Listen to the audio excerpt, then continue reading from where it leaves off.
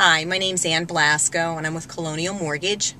I've known Brett probably about five years. He was introduced to me as a marketing coach, and over the past five years, Brett has had a tremendous amount of great ideas. They've all increased my business.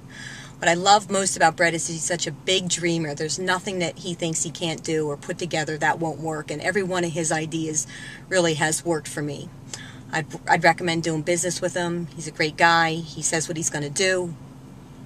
Uh, and he always has new ideas. He keeps, you know, the thoughts coming, the ideas coming. He's always out there cutting edge, looking. He really, his, I think his bottom, you know, his goal for himself is just to help you. He's sincere about helping you. He's genuine about what he wants to do.